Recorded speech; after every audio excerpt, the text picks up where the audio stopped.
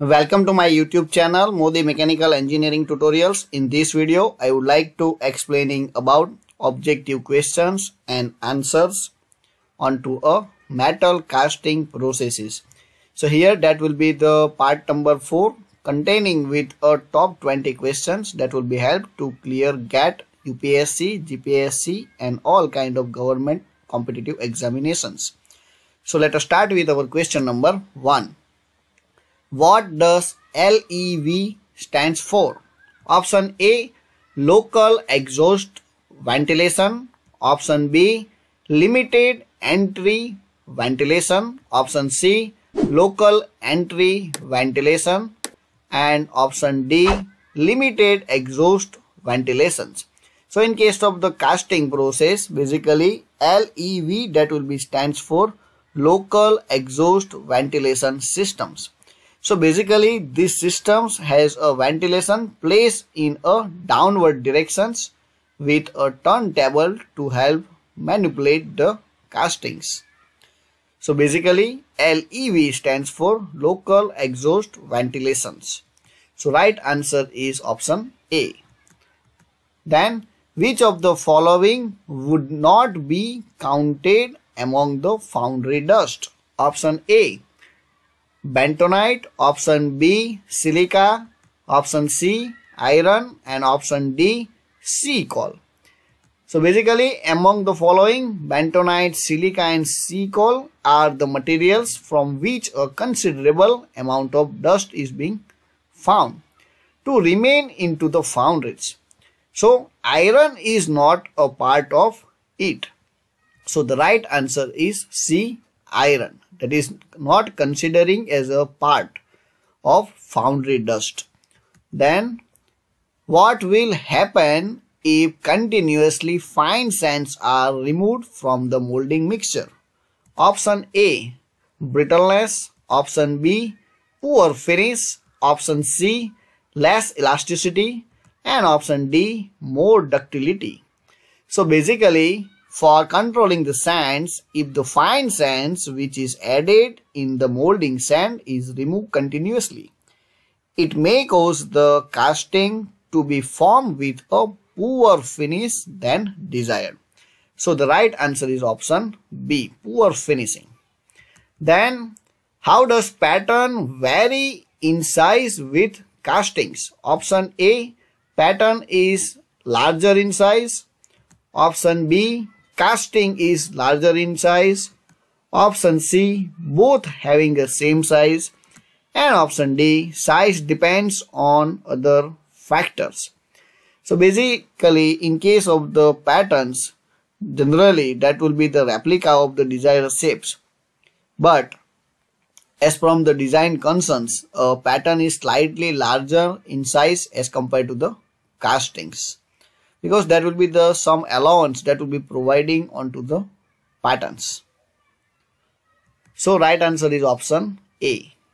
Pattern is always larger than the size. Then a pattern carries which allowance for internal and external surfaces. Option A shrinkage allowance, option B machining allowance, option C distortion allowance and option D draft allowance. So basically draft allowance that is uh, known by the name of the tapering allowance as the diameter of the cast goes on increasing in a trapezoidal shape from the bottom. So a pattern has a draft allowance of an order of 1 and 3 degrees for externals and internal surface respectively. So Option D, draft allowance. Then, what is draft allowance also known as? Option A, shake allowance. Option B, contraction allowance. Option C, taper allowance. And option D, rapping allowance. So as we already discussing that, draft allowance also known as a taper allowance. So option C. Then Machining allowance does not depend on which of the following factor. Option A, solidifying contraction. Option B, machining method.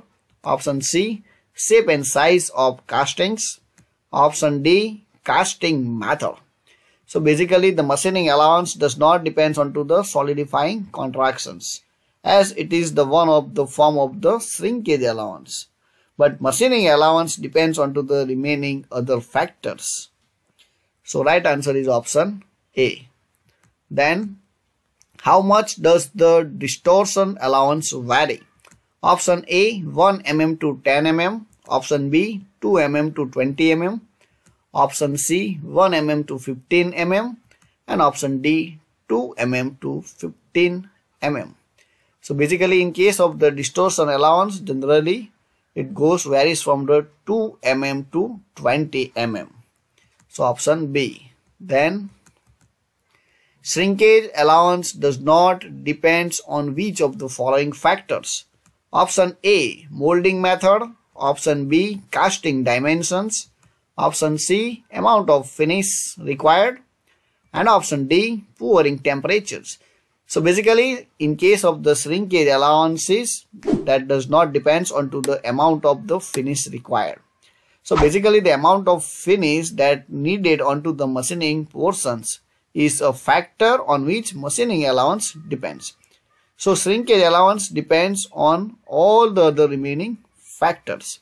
So the right answer is option C amount of finish required because that will be does not depends right. Then a pattern is second by striking it with a wooden piece. A negative allowance is provided for this. So which allowance is it? Option A machining allowance. Option B shake allowance. Option C distortion allowance and option D shrinkage allowance. So basically in rapping or you can say sag allowance the pattern is taken out of the mold and it is rapped or can say sack second so as to free it from the adjoining sands. So due to this there may be a little increase into the size of the mold cavity. So that will be enlarging the dimensions also you can see that. So that will be shake allowances. Then for casting operation a metal must be heated to what temperature? Option A above solidifying temperature. Option B above vaporizing temperature. Option C above melting temperature and option D above room temperature. So basically for casting operations the metal to be casted must be heated above the melting temperature. So basically melting temperature that will be representing as a temperature at which solid phase that will be converting into the liquid phase. For any castings, you should make a liquid phase of the metals. So that will be in the form of molten metal. So that will be requirement above the melting temperature. So option C. Which of the following is not a furnace used for heating? Option A. Cupola furnace. Option B. Crucible furnace. Option C electric arc furnace and option D blow air furnace. So basically among the following the blow air furnace is not a type of the furnace which is used for heating purpose whereas for cupola, crucible and electric arc that are the furnace which will be used regularly for heating. So right answer is blow air furnace that is not a furnace used for heating. Heat required to raise the temperature to the melting point is called what? Option A sensible heat, option B latent heat, option C calorific heat and option D specific heat.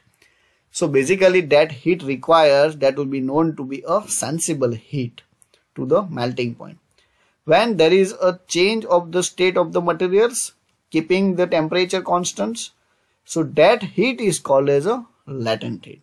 But right now the question is like uh, heat required to raise the temperature to the melting point. So that would be known as a sensible heat. Option a. Then when the molten metal is put into the mold, what is that temperature called? Option A melting temperature, option B vaporizing temperature, option C pouring temperature and option D room temperature. So basically for a molten metal to able to pour the temperature which it is required to process is called as a pouring temperatures. So basically this temperature is higher than the melting temperature because it will be need to into the molten form of the metals. So that will be above the melting point. So that will be known as a pouring temperature. What is the shape of sprue? Option A cuboidal, option B cubical, trapezoidal and option D spherical. So sprue is essentially tapered, give it to the trapezoidal look. So that will be easily the molten metal that will be transferred to the cavity. So basically it needs to be tapered because the inverse relations between area and velocity also. Option C. Then in pressure die castings, what is the minimum pressure that can be applied? 50 kg per centimeter square. Option B 60 kg per centimeter square. Option C 70 kg per centimeter square and option D 80 kg per centimeter square. So in case of the pressure die castings, basically the pressure requires that will be around or you can say 70 kg per centimeter square. Below this pressure at 50 or 60 kg per centimeter square, the process of casting will not be take place. Then next question. Alloys of which of the following metal is not used for hot chamber die casting? Option A tin, option B lead, option C zinc and option D iron. So basically among the following metals the alloys which are made up of iron are least manufactured by using hot chamber die casting method while rest of the others that will be having uh, wide applications. So that will be used to make with the help of hot chamber die casting process. But the question is like metal is not used for hot chamber. So that will be the iron. The next in hot chamber die casting before the end of the stroke what uncovers the part? Option a injector. Option b plunger. Option c burning flame. And option d die cavity. So basically in case of hot chamber die castings, as soon as the stroke ends, there has to some part which would remove to cover over the pot. So basically the plunger that uncovers the pot.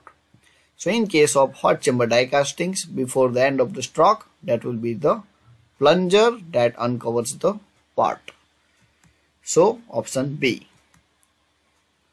The next, which of the following is not counted among the limitations of pressure die castings? Option A, only small parts can be produced. Option B, high cost. Option C, low scale production. And option D, castings are porous. So basically in case of the pressure die castings is used for mass productions. The reason behind that the equipments needed in pressure die casting is not available at low cost. So the die casting used in this process too are very expensive. So basically that will be not counted among the limitations. So that will be low production scale. Then what is the maximum pressure which can be applied in pressure die casting? Option A 4530 kg per centimeter square. Option B 4980 kg per centimeter square. Option C 5000 kg per centimeter square and option D 5100 kg per centimeter square. So basically the maximum pressure that will be 5000 kg per centimeter square. For some castings with lesser hardness, the maximum pressure limit is lesser. If the magnitude of pressure applied exceed the value of 5000 kg per centimeter square. So option C. So I hope you understand all that questions. If you like this, then subscribe and share Modi Mechanical Engineering tutorials. Thank you so much and keep watching.